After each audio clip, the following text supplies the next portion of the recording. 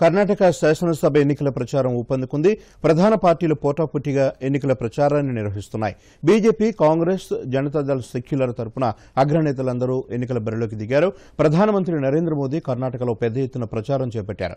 రెండు రోజుల ప్రచారం కోసం కర్ణాటక వచ్చిన ప్రధానమంత్రి నరేంద్ర మోదీ మొదటగా బీదర్ జిల్లా హున్మాబాద్లో జరిగిన బహిరంగ సభలో పాల్గొన్నారు.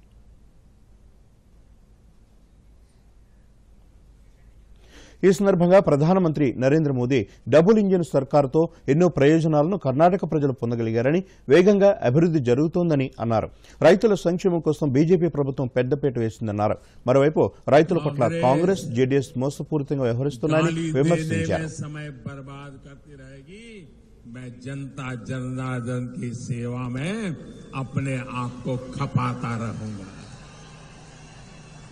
दिन रात काम करूँगा, ज़्यादा काम करूँगा। आपके आशीर्वाद से सारी गालियाँ मिट्टी में मिल जाएगी दोस्तों। सारी गालियाँ मिट्टी में मिल जाएगी।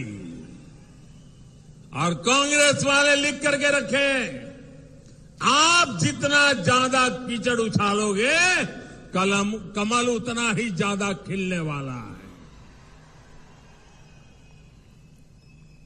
भाइयों बहनों, आपके आशीर्वाद से मुझे कर्नाटका की सेवा करने से रुकना नहीं है, और ज़्यादा सेवा करनी है। पूरी दिल्ली को आपकी सेवा के लिए मुझे लगाना है। इस बार फिर एक बार कर्नाटका को तेज विकास के लिए पूर्ण बहुमत की, ये मेरे शब्द याद रखिए।